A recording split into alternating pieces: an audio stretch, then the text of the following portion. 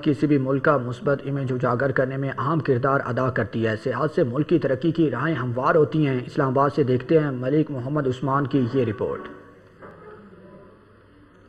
सेहत किसी भी मुल्क की तरक्की के लिए अहम किरदार अदा करती है। सेहत के फरोग से मुल्क का मुस्बत चेहरा दुनिया के सामने उजागर होता है। पाकिस्तान भी सेहत के हवाले से दुनिया का अहम मुल्क समझा जाता है। पाकिस्तान में सेहत को फरोग देने के लिए हुकूमत को तरजीही बुनियादों पर इकदाम करने की ज़रूरत है। जो मुल्क में है, वो हिस्टोरिकल प्लेस काफ़ी ज़्यादा है, ठीक है?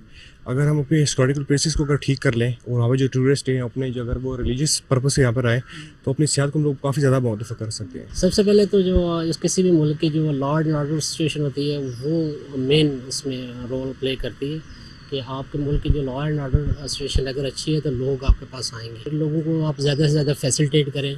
आपके जो जो लोग विजिटिंग एरियाज़ हैं, उन एरियाज़ में आपके रोड्स आपकी बाकी फैसिलिटीज़ जो है वो स्टैंडर्ड की होनी चाहिए। कम अज़ कम प्रोविज़न तो होनी चाहिए कि लोग आएँ और वापस जाएँ और खुश होकर जाएँ और दूसरे लोगों को इनक्रेज करें कि जी आप विज़िट करें। टूरिज़म से रिलेटेड लोग आते हैं, उनको अच्छी ट्रांसपोर्ट प्रोवाइड करनी चाहिए, उनको अच्छी सिक्योरिटी प्रोवाइड करनी चाहिए और फ़ूड से रिलेटेड मतलब उनको अच्छा फ़ूड प्रोवाइड करना चाहिए। हुकूमत को चाहिए कि ट्रांसपोर्ट का अच्छा बंदोबस्त वगैरह करे।